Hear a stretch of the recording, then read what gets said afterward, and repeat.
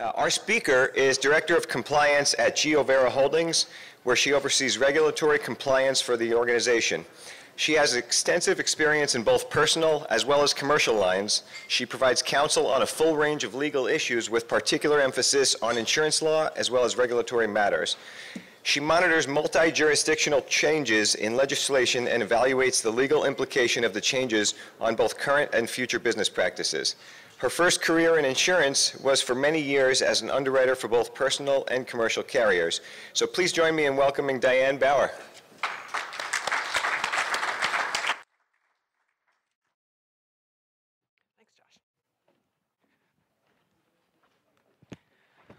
Well, good morning, almost afternoon. I think I'm the one bringing up the rear here just before lunch, so I appreciate you uh, hanging in. And uh, we're going to spend a little bit of time talking about a few things, the sharing economy, which I think should resonate with all of us at this point now that it's settled in a little bit, as well as some of the new laws that are going to be coming into effect, uh, most of them January 1st, that will impact you and your clients, potentially insurance companies that you're appointed with, as well as uh, autonomous vehicles, which we have all uh, heard all kinds of things about. And I'll try to split my time accordingly. Uh, if you have questions, you can ask. Um, I want to try to squeeze everything in. I didn't do a deep dive necessarily on any of these topics. I wanted to try to hit as many high-level developments as there have been in the uh, last few months because interestingly enough, I spoke back in April to some of you folks up in Sacramento.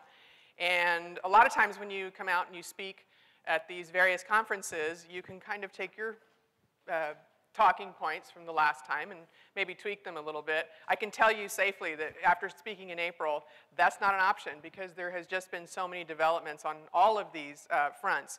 So unfortunately or fortunately, this is um, an ever-changing landscape, if you will. So just out of curiosity, how many people flew into Palm Springs? Wow. How many, right, how many flew into Ontario? Okay.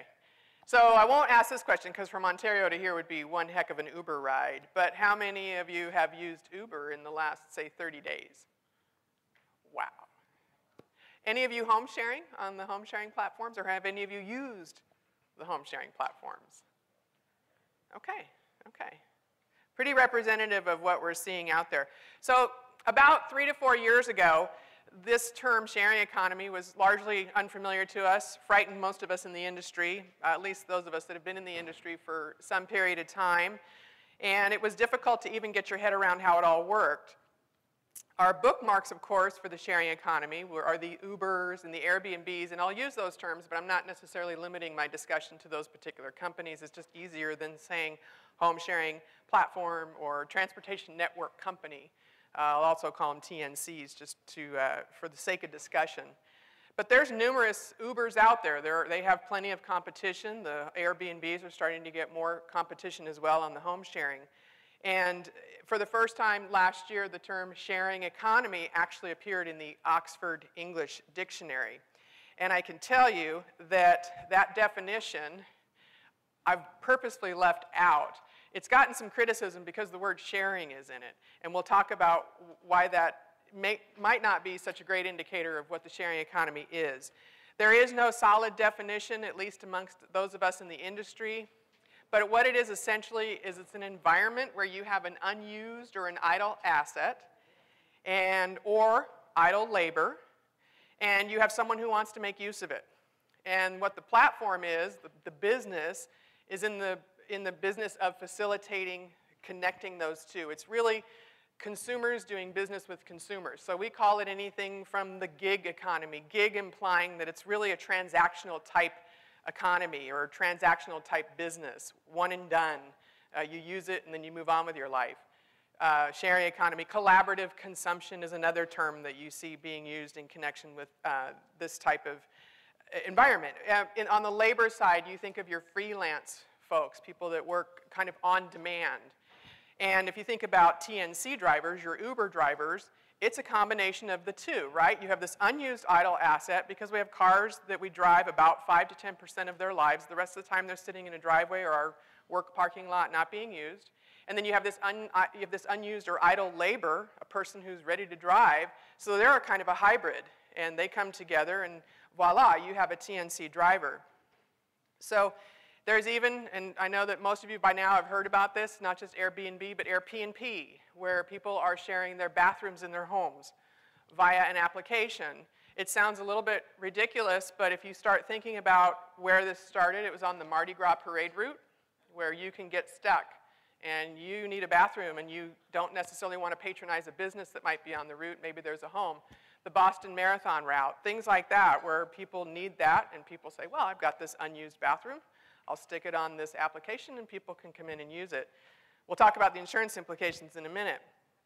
Largely, the uh, platform, if you will, is a pass-through.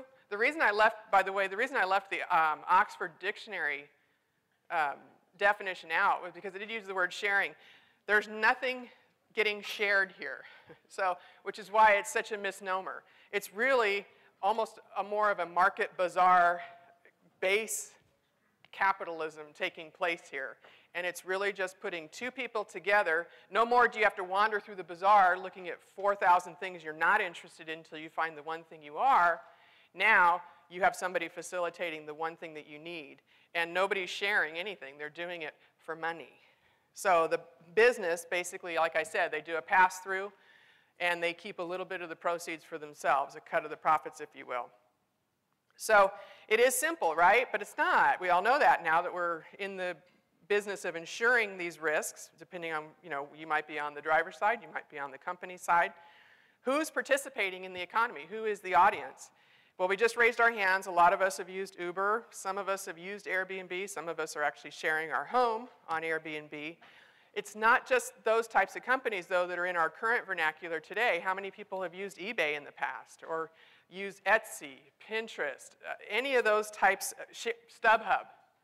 I got second row tickets to Jimmy Buffett because I used StubHub, not because I went to that other ticket site. So that's also, if you think about it, facilitating consumers doing business with consumers with this middleman that kind of keeps their cut of the proceeds. And essentially you have 50, 50% of US, sorry, 50% of adults in the US have purchased goods secondhand online. Not, so not necessarily used, you know, garage sale type goods, but just secondhand. You're not the original purchaser. And only 15% of us in the United States have utilized rideshare applications. So those numbers kind of are indicative of the level to which we're comfortable, and I don't think you will see much fluctuation in those numbers. What I mean by that is, for those of us that have wanted to go on to sites like StubHub and buy tickets, or um, you know, eBay and, and, and bid on goods and the numbers of folks that are willing to go and use Uber. I think the ones that want to have and the ones that don't probably won't unless it becomes the sole source of transportation. So it'll be interesting to see how the uh, numbers change, if at all, and so you have this, uh, these whole host of companies. They are here and they've arrived. I will tell you, three, four years ago, I sat at conferences and many of us laughed at the Uber concept. We didn't think they'd stick around. We thought it was going to be short-lived. We all kind of scoffed and said, oh, that's commercial lines. You know, that's never going to be entertained in the personal lines world. Boy, howdy, it has. And they're here. They're here to stay. And you see our own industry, for once, I think, not always being in a reactionary place, to some degree being in a proactive place. And that's what I meant when I said, for once, the insurance industry is out in front. Because a lot of us who have been in the business for a long time know that primarily carriers tend to do things in a more of a reactionary way. So it is exciting. So I don't want to necessarily be Debbie Downer on what the insurance implications are because there are a lot and there's a lot to think about. And for your, your folks, you have to be so incredibly educated as to what all of the different caveats and aspects are to this uh, economy and the exposures that come with it. So we'll talk a little bit about that. And there are numerous areas. I'm going to talk primarily about the, sorry, about, you got Bauer and quadrophenia here. Um, so I'm going to talk a little bit about the insurance implications and then the subsequent legal, the associated legal uh, aspects of those insurance implications. So bar none, the biggest presented types of companies is the TNCs, the Transportation Network Companies. And we've all kind of had a TNC hangover, if you will. Last year, I think we were just over it. We were done listening to Uber. We were done hearing about periods one, two, and three. Does everybody remember those periods? Are you pretty familiar with those? Real quick review. For those that are operating in the TNC world, if you're a driver, period one is when you have the app turned on, you're logged on, and you have not been matched with a rider yet. Period two is when you've finally been matched with a rider and they're on their way to pick them up. And then period three is when the rider is in the car. Those are your three ch chunks of exposure, if you will, to be considered. And so um, I will tell you that on the California Department of Insurance website, you will find a table that shows a list of the companies that decided to start offering coverage for those periods. Some companies only dipped their toe in the pool, willing to potentially go in and offer period one coverage. Some offer one, two, and three. I will also tell you that table has not really changed in the last four to six months. So like the users of Uber that come in and they've decided they're going to use it, those of us that haven't don't. The companies that want to get in on that action and, and, and cover that exposure, they've filed, it's been approved, and they're out there writing it. The rest of the companies are in a wait and see mode. I don't think you're suddenly going to see another flood of, of carriers coming in and offering up uh, endorsements for filing and approval.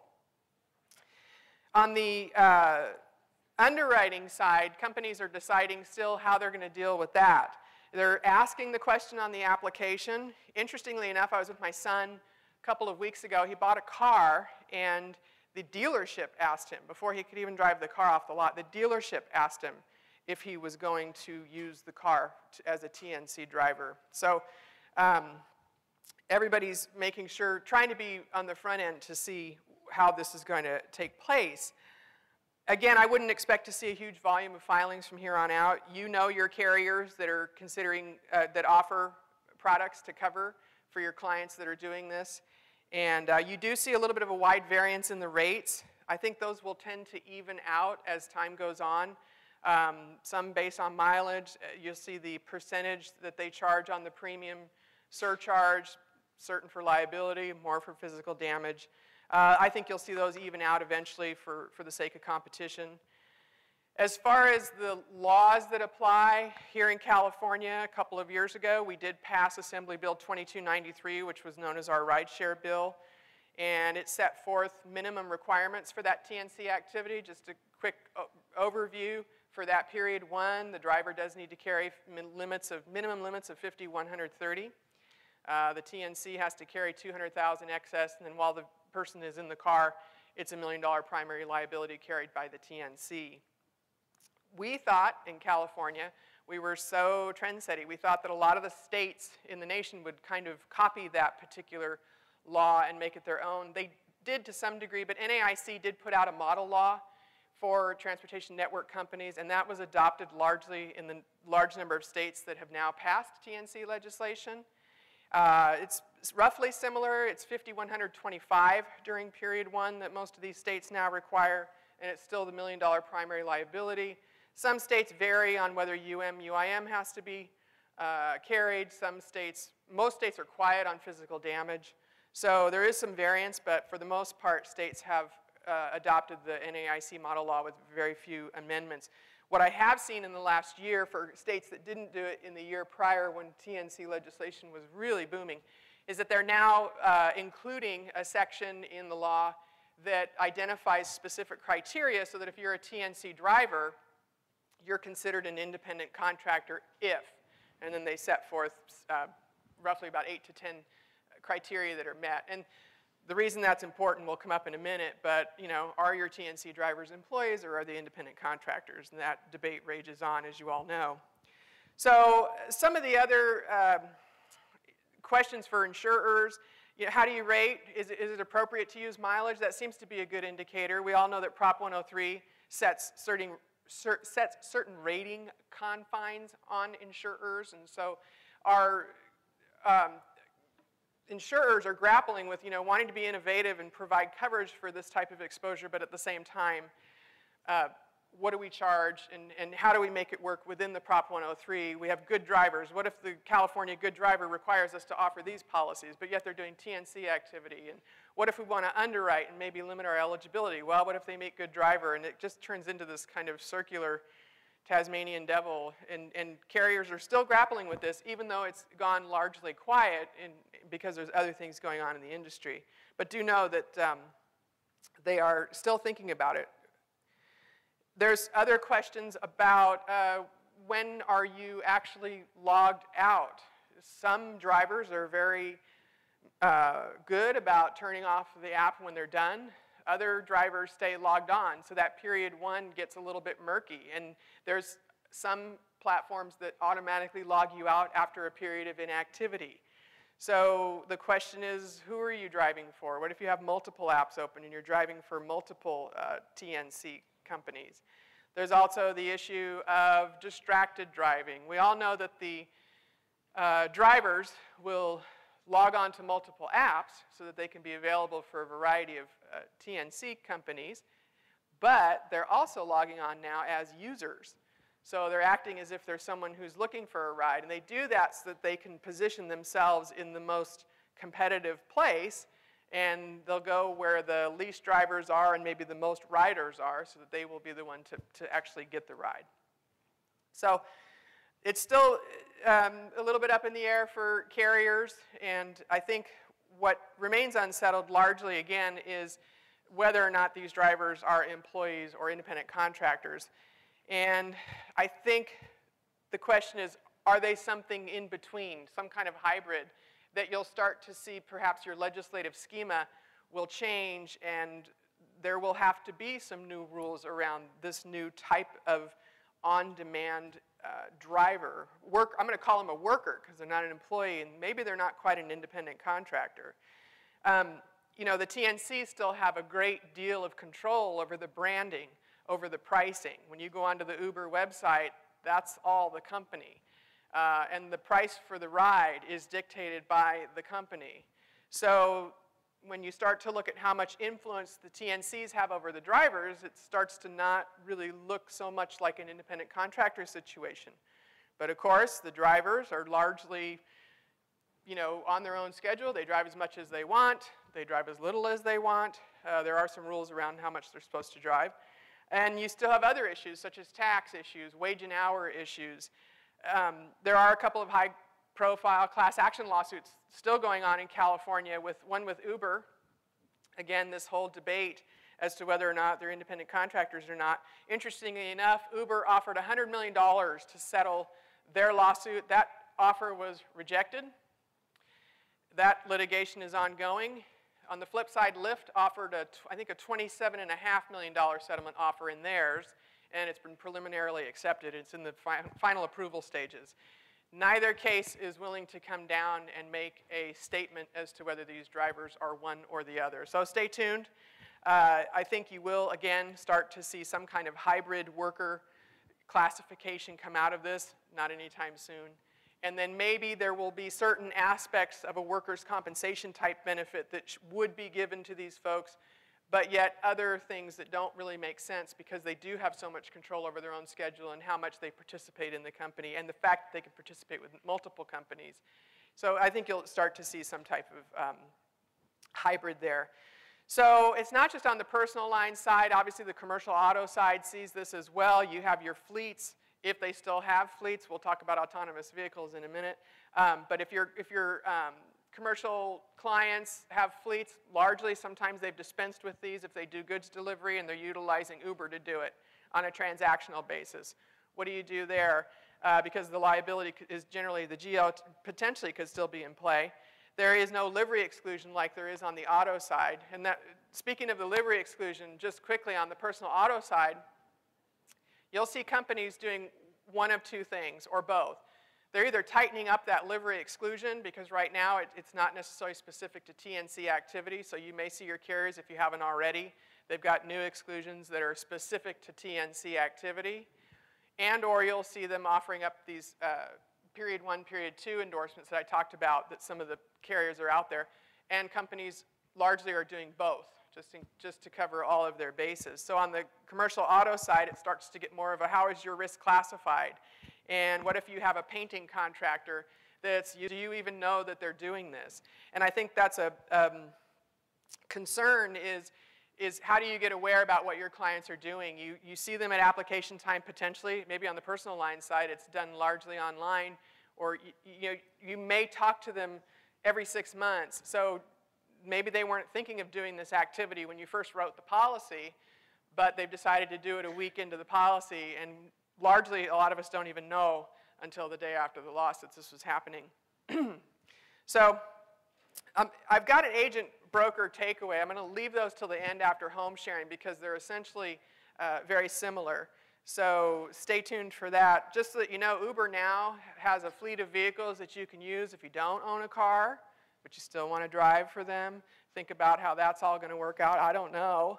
Um, they can lease. I think GMAC entered into a lease agreement where you can lease a vehicle. They start to pay for some of the maintenance costs and things associated with the driving, with the operation of the vehicle.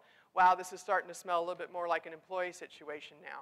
So there's a lot of changes on, the, on that front. When we get to autonomous vehicles, this is so yesterday with Uber. They, they've moved on. They now don't even have drivers in their cars anymore. So we'll talk about that in a minute. so Home sharing. Again, a few of you raised your hand as using it. Worldwide, the Airbnb market is, is quite active, and I think you'll start to see it more so here. Uh, the companies, I'll say Airbnb, I don't mean just Airbnb, VRBO, Expedia's purchased, I think, HomeAway, or HomeAway's, you know, purchased VRBO. Somebody owns somebody in there. Initially, when we talked about home sharing, nobody really worried about this. It just wasn't on anybody's radar. Uh, in the last couple of years, though, uh, more companies have started, and you've got uh, investors that are starting to purchase multi-hab properties in the interest of providing these short-term rental situations. Uh, there's a public policy issue associated now because these investors are coming in and snapping up these properties in some of your ideal coastal destinations, and so the local residents are finding an availability issue with just trying to get um, housing. So what you really have on the home sharing side is two audiences, if you will. You've got your owner occupants that just want minimal restrictions on the freedom to rent, whether they're renting something just like a room or their whole house or, you know, or a vacation rental if it's in another destination.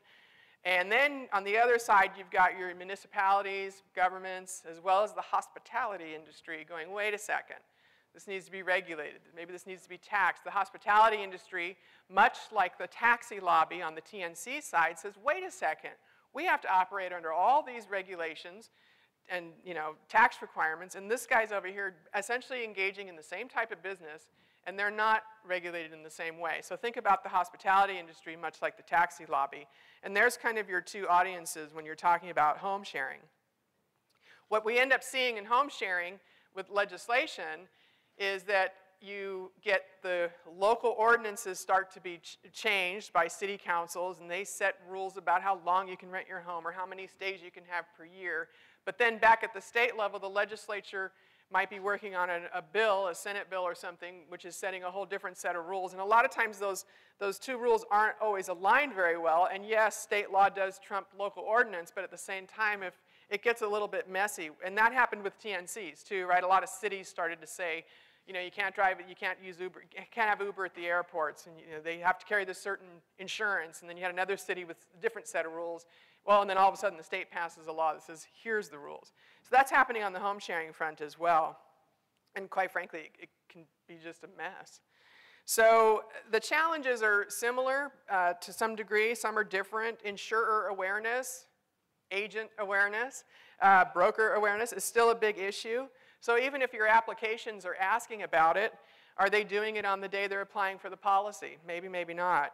More often, again, you find out about this exposure after the loss. The insured awareness also is an issue, just like the TNC driver. They don't always know whether they're covered and if they are, how, and if they're not, where are the gaps, and, and is there any way to, to meet those gaps?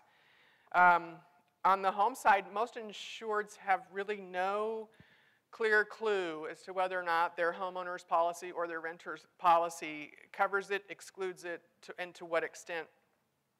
Are they even familiar with their local ordinances if there are these ordinances that are in play? Interestingly enough, I think this kind of came up when Rob spoke earlier, but if there's an ordinance and you're breaking it and there's a claim, is that a legal activity? Most claims are in the denial place if there's illegal activity. So, you know, would that happen? I don't know, but it's just something to think about. So, what do you need to do uh, as far as you, letting your clients know about the local ordinances that are in place, if there are any, the state laws, if there are any. It's a constant state of education, and it's always changing. So you need to look at the policy. Are there exclusions? Are they for business? Keep in mind when they wrote the exclusions that are there, the drafters at the time were more concerned about someone running a hair salon out of the first floor of their home, a lawyer running his practice out of the left half of the home. That's really what the exclusions were there for. They didn't entertain anything like what we're doing now. There is even some coverage in the homeowner's contract, depending on whose contract you're looking at, where the occasional boarder is okay. So, but it's a moving target. It's not very clearly defined which again, ISO, for example, is coming out, or has come out, I think, I believe they're out, with endorsements to either tighten up the exclusions and or offer coverage uh, for the, the, variety of ways this can happen, whether it's a nightly, weekly, vacation home uh, type exposure. Uh, even the business personal property. Is it my couch? Is it my bed? Well, it is when I live there, but what if I rent that bedroom out? Has it now become business personal property? As you know, in the homeowner's contract, that exclusion changes depending on what coverage part you're talking about. So it could be a very strong exclusion for liability, for example, but you may have less of a clear exclusion under, per, under property. So you, um, we'll talk about the takeaways in just a second, but knowing that underlying contract is critical. So as far as what the different platforms offer as far as coverages and programs, uh, Airbnb does offer primary liability for the, uh, the guest and, sorry, for the host, for the guests that are staying there. They have a program for when there is property damage caused by the guest. And I call it a program because it's not a policy. So you, there are some rules around it. So you have this guest who comes and stays in your home and he trashes the room and then he leaves and you're going, great, what do I do? So the hosting platform will say, try to recover from the guest. Yeah, I don't think we know how that would go. Probably, they're long gone, so you're probably not going to be able to do that. The next step they're going to make you do is try to recover from your homeowner's carrier.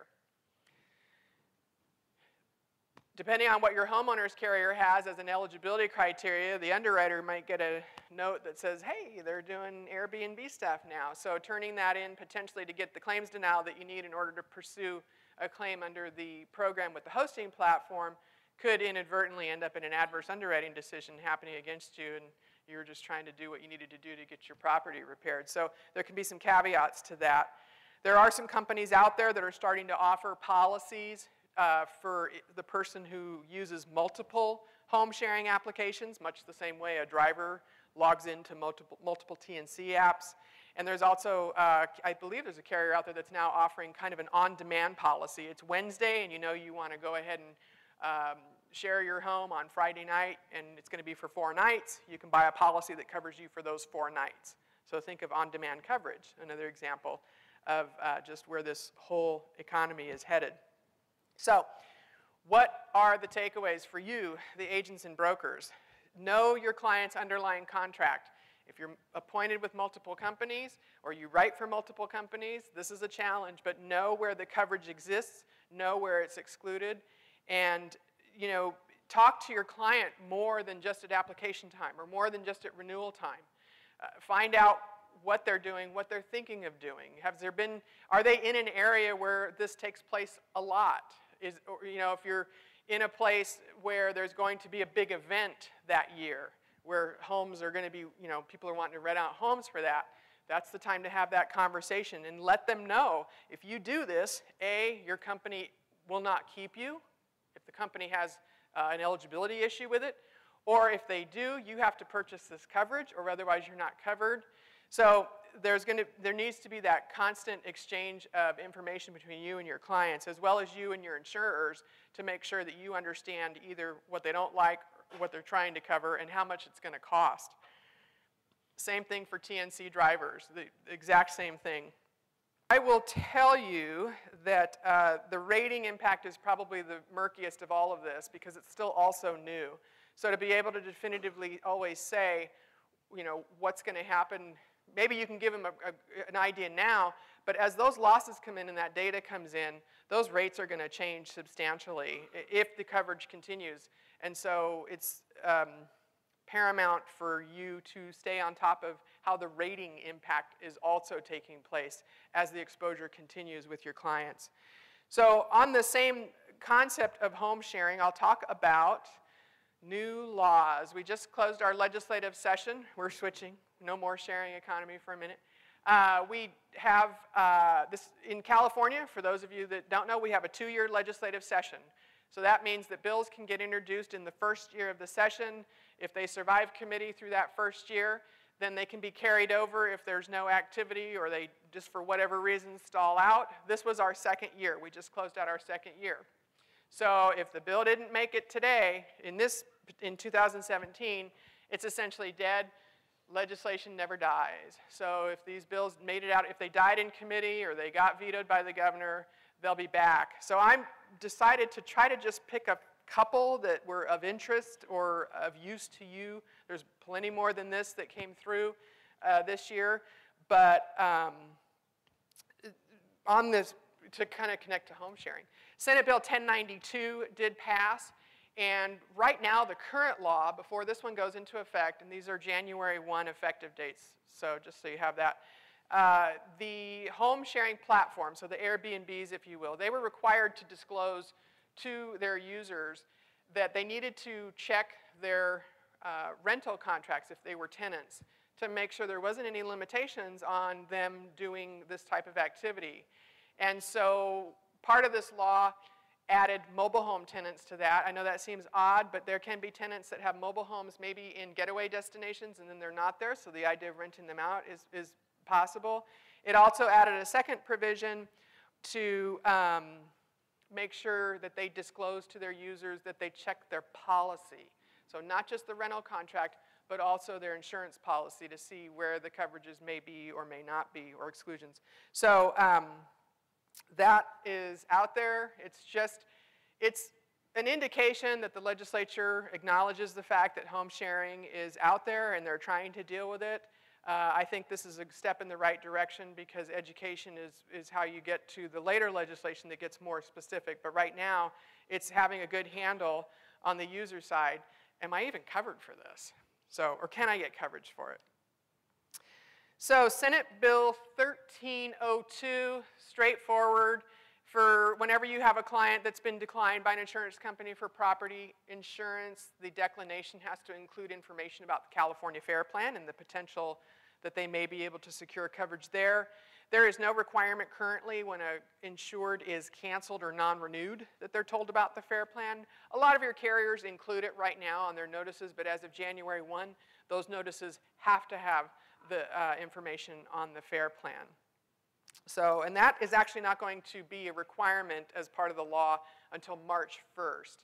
Uh, carriers take a while to implement things, get things programmed on notices. So March 1st is when you'll see your termination notices have that information as well if they don't already. I will speak very briefly about Assembly Bill 2883. Your organization has done an excellent job of covering this. Is everybody familiar with this one? Where the definition of a true director and officer has changed for work comp. It's a very, very narrow de definition. And I'm just bringing it up because the California Department of Insurance did put out a notice a couple weeks ago. So briefly, in case you're not familiar with this, uh, before directors and officers on work comp were generally not covered. You could opt in if you wanted, but they were generally not covered. Now there's a minimum percentage of stock ownership that those folks have to meet to be considered a director and an officer or they have to have a certain type of ownership in the corporation or the LLC. If they do not meet that narrow definition, they have to be put onto the work comp policy, and the only way to, and if they do meet those definitions and they don't want to be covered on the work comp policy, then there has to be a waiver signed. So this is a lot to deal with. Why is this such a big deal? As I said, the effective dates of these laws are January 1.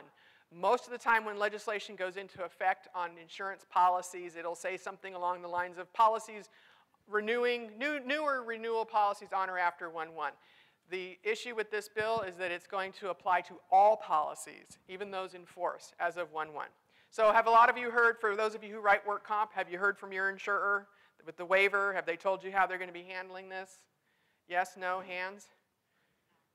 Some. The California Department of Insurance, as I mentioned, did issue a notification. They would like insurers to contact uh, agents by the 15th of this month to tell them, A, here's the waiver that you're going to need to sign if you have folks that meet this narrow definition and they don't want to be added to comp. And oh, by the way, if they don't do either of those, now you have a whole new rating scheme. And there isn't necessarily any indication of how the insurers are going to deal with the additional premium that's potentially due as of January 1st on those existing policies. They may correct the rating and waive the premium.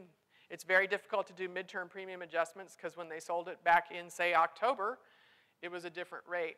So, um, but at the same time, the insurer, as of January 1, is held to specific premium tax requirements, reporting requirements, assessments if appropriate. So uh, this is pretty, pretty disruptive for a lot of us. Very rarely do you see legislation go into effect that suddenly is, is applicable to everything that's in force. So just some challenges there that are going to come up with 2883. If you haven't heard from your work comp carriers, you should in the next week or two. 2591, AB 2591. This bill now allows insurers to electronically deliver termination notices. It does some other things too, but that's kind of the high point of it. There is a requirement in there that the person receiving it gives some type of acknowledgement of receipt. I don't know what that means. I don't know if that's an email that comes back from the insured saying, thank you very much for my cancellation notice. I really appreciate it.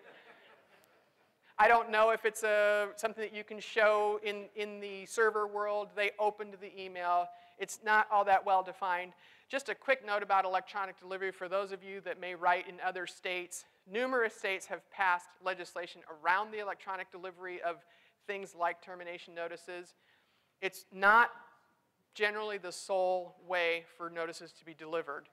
There are so many variances, for example, on what constitutes sent and received among each state, and none of them are consistent. Everybody has a little bit different criteria.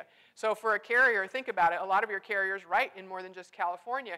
How do they modify their system so that either there's some kind of ceiling where they can make it operate with the most prohibitive of rules and then meeting all the other states? It's not like that. The rules are just all, it's scattershot. And so a lot of states, or excuse me, a lot of carriers are going, forget it we're still going to do the old hard copy. They may provide it electronically as a service, but by no means are they utilizing electronic delivery as the sole method.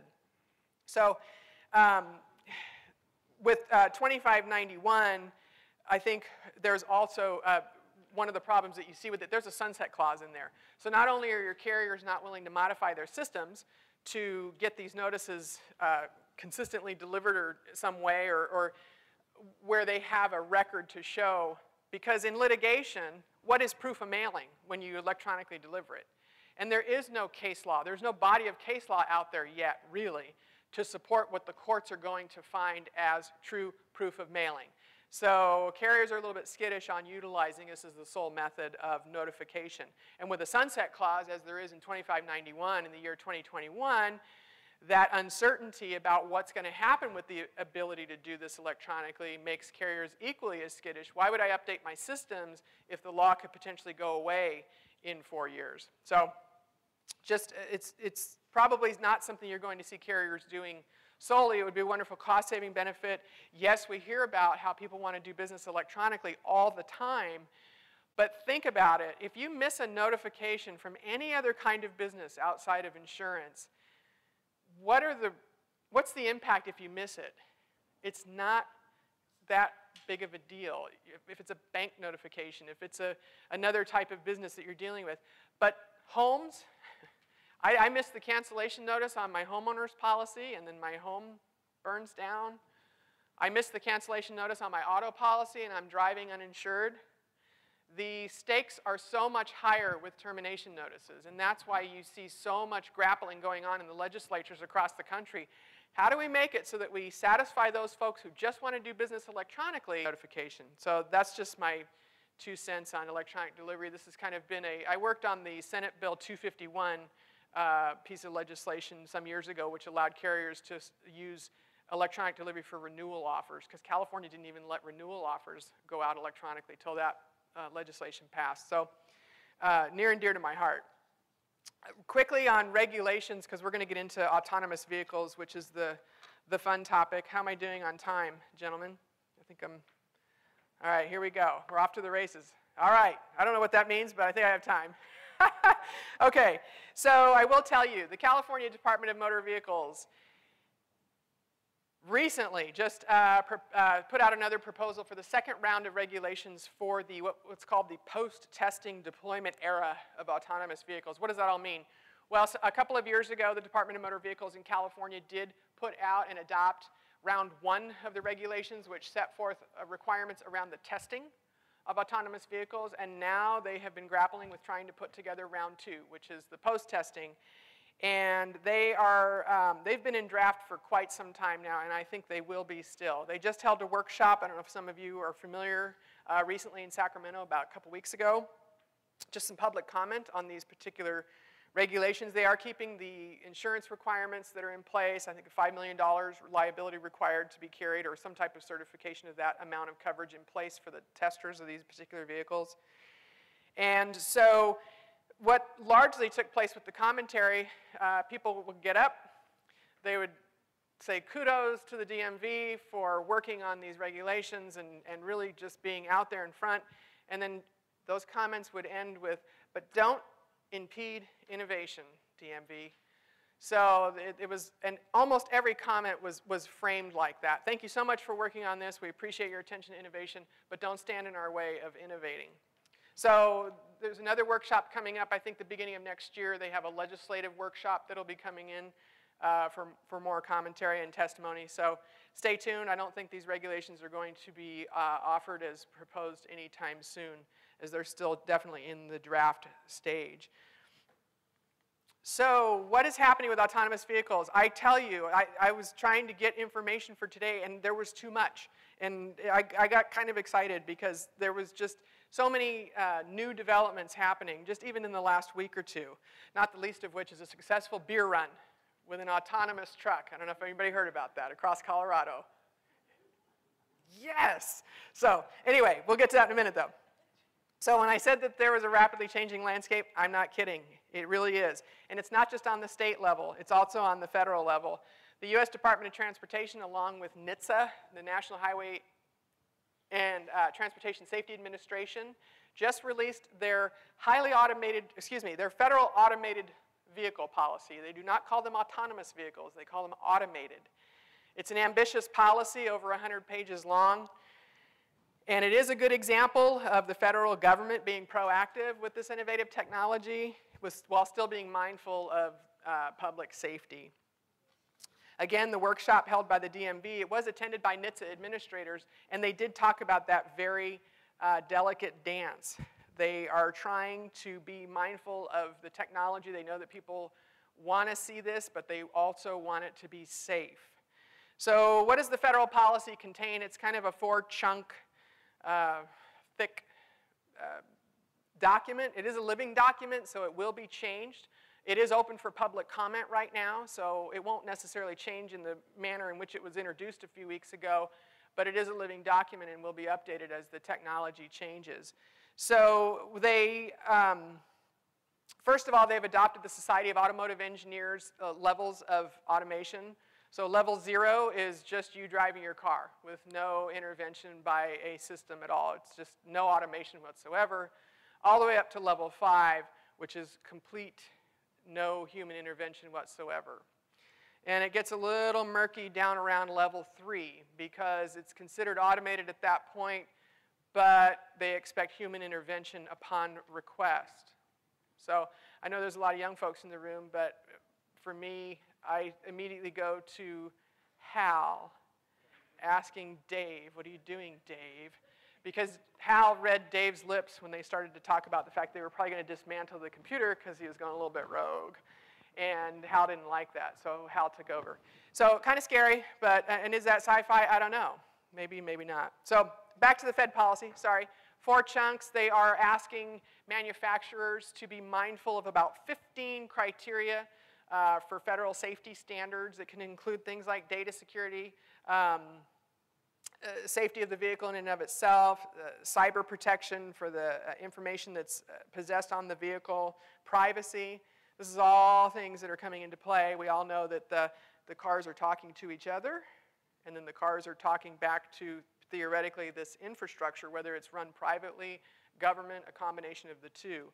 So they are not making mandates on the design of these vehicles. The feds are very clear about that, but they're suggesting that the companies self-certify and self-report saying in these 15 areas, here's what we've done to assure that we've met um, you know, the standard that are set forth in these uh, 15 criteria.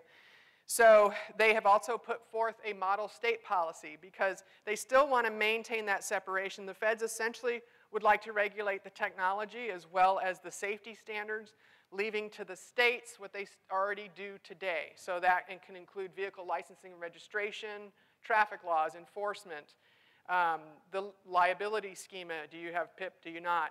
Um, and then also the insurance requirements. So that model state policy is in there.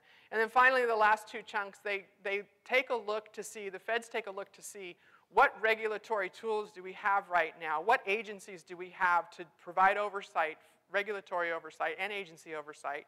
What can work today with what we have? And then going forward, where do those tools need to be tweaked a little bit to compensate for the new technology? So Again, a completely ambitious policy. At the end of the day, they will say safety is the number one concern. And how do you measure safety compared to what? Because humans and the way they operate their vehicles in unsafe manners largely goes unrecorded. We know there's accidents, we have those, we have that data, but how often we are maybe looking at our phone, maybe not texting, but looking at our phone. How often are we fiddling with the radio? All of those things that are happening, and that never gets collected anywhere. So when the feds are looking to see how safe autonomous vehicles are, does that mean absolutely no crashes, no injuries whatsoever, ever? It's a, it's, it's a hard comparison to make because what are you comparing it to? So, where are autonomous vehicles today? Well, I can tell you some of the latest developments. Like I said earlier, Uber is testing a fleet of autonomous vehicles, I believe, in Pittsburgh right now. So forget about the driver. Now Uber is just going to dispatch an autonomous vehicle to you. You sign up on their um, app and shows up this car and no driver, and you hop in and it takes you where you want to go. I just read just this morning, Uber's trying to set it up so that you can link it up with your calendar and your contacts so you can tell Uber, I want to go to Rose's house, and so when the autonomous vehicle shows up, if Rose gives her permission, then it'll just take me to Rose's house, and I have to deal with addresses and all of those things. So Uber is just always changing, and it, it, it's so far away these days from what we remember and think of it as today, where there's someone showing up in their car to take you somewhere for a price. Uh, GM was set to test autonomous vehicles for Lyft. That was also supposed to be either happening or going to happen. Uber, for example, just bought a company called Otto. Have you heard of Otto? And they only bought it, I mean this when I say only, it was only $680 million. Such a steal. Otto is looking at autonomous technology for long haul trucks. Hence the beer run. Uh, that went, I think it went from one side of Colorado to about halfway through. It was, it was done in Colorado on the highways. And there is some speculation that the autonomous vehicle technology is going to actually be implemented quicker with long haul trucks because it's so much easier to uh, have the technology focus on a highway as opposed to roundabouts and parking lots. And so it's much easier to advance the technology if, if it's basically just going straight. By the way, on that beer run, the truck was autonomous except for getting on the on ramp and the off ramp. So Anyway, I'm really excited about the beer run, I don't why. I thought it was pretty cool. So anyway, um, so we, when we think of autonomous vehicles, you know, what do we think of? Well, we hope that there's less crashes. We hope that traffic patterns improve because the autonomous vehicle would anticipate the heavy traffic in front and decide to take a different route. Um, and maybe reduce costs in healthcare, maybe reduce costs in insurance. That's all possible, absolutely. But when we think about what, what is so paramount with this, because it is relinquishing human control, and none of us, none of us are good at that. We like to drive our own car. We're okay maybe getting on a public bus because we can still see the guy driving, and that's okay. We're a little less comfortable getting on an airplane because we really don't have any control, but there's a human in the cockpit, so okay. Now you're giving up that control to a computer, essentially. So that public perception of safety is the first threshold, it's the highest threshold, and that's what people are struggling with today. How many of you have heard about the accident involving the Tesla vehicle? So for those of you who haven't, there was a gentleman operating his Tesla on an autopilot feature. And the Tesla went underneath the trailer, and the person in the Tesla did lose his life. And so very shocking, very horrifying, very tragic. That's the thing that sticks in your mind, not the numerous amounts of times that autonomous vehicles have operated without incident. But that's that public perception of safety that people have. It's a hurdle, and it's a big one because we remember the Tesla accident. We don't remember all the times that it successfully drove from point A to point B without any kind of occurrence. So, assuming your public confidence gets to that high point, what could we see? Well, I think you'll see the TNC concept morphing into what Uber is testing today, uh, they would just have a fleet of autonomous vehicles. So, uh, and if there's large enough availability, then vehicle ownership may take a huge dive because it's going to be more of a transactional uh, situation. I need to go to the store, let me call up an AV and get me over there. I don't need to have a car sitting in my driveway 85% of the time. So there are people out there that have put timelines on this stuff. I would never do that. But there are people that say, oh, well, in one year I think we'll see this, and in three years we'll see this, and in 10 years it's going to be this. And I, am not that confident because I don't have that crystal ball that apparently they do. But, uh, and, and the things that I, that I didn't expect to happen have happened, and some of the things that I did think would happen by now haven't. So no timelines, but just ideas to think about going down the road. Uh, what are the insurance implications? Oh, good grief. uh, let's see. We talked about maybe lower health care costs, maybe lower insurance costs because you don't have uh, drivers having this many losses. Well, let me tell you, those losses are still going to be disputed. It's going to be a question of who screwed up. Did the computer screw up? Was it the hardware? Was it the software? Was it the manufacturer? Was it all three? Was it theirs or yours? Was it the infrastructure? Who's operating the infrastructure where they talk to the mothership, so to speak? You will have litigation costs that will reflect the advanced expertise needed by everyone involved, expert witnesses, computer folks. So what I predict is that as though you may see your insurance costs reduce because you won't see as many accidents and injuries, you will see your insurance costs correspondingly increase because things like repairing these vehicles is going to be so much more expensive than it is today. Do your carriers have the claims expertise to adjust these types of claims on these vehicles? Do they even know what these systems are capable? These are very sophisticated systems. Think about the Google car, for example, the uh, pod car. Am I looking at five minutes? I don't see anybody back there, so we'll just keep going. Uh, so uh, the Google Pod car, what does it have? It's got LiDAR on it. It's got laser detection of, of a car in front of it to measure that uh, distance, you know, radar. There's redundancy technology because if one system fails on the autonomous vehicle, the other systems are supposed to pick up the slack. Um, the, when you see the Google car, right, you see that 360 sensor spinning on the top. That's better than any of us can get. When we go like this, and when we go like this, it's about 200 20 degrees, maybe 240 degrees. There's a whole section back there we don't see. We have backup cameras. Some of them are better than others, and do we always look at them? Just because you have it doesn't mean we're actually looking at it when you're backing up. So it's just, it, there, I think what we have to take away from this is that as the technology advances, it's extremely expensive to introduce and extremely expensive to repair. So how do you cover that? Will there have to be new um, products offered by, you know, new endorsements for this type of computer technology? Uh, those are all going to be things that your carriers are going to be thinking about as this uh, comes along. Liability, again, your basic theories of legal liability are not going to change. Uh, and, but the discussion for a long time with autonomous vehicles is who's liable? Is it the human who failed to intervene? Is it the hardware system that didn't operate properly? Is it the software that was outdated? Or maybe the driver just didn't update it because he didn't want to deal with it at that particular time? Or was it bad software and it was uh, set up with bad data? Or is it a combination of all three? So there has been a suggestion, this is not mine, I absolutely take no credit for this, but there is the idea that potentially at some point insurance can shift from a third party protection type product to first party.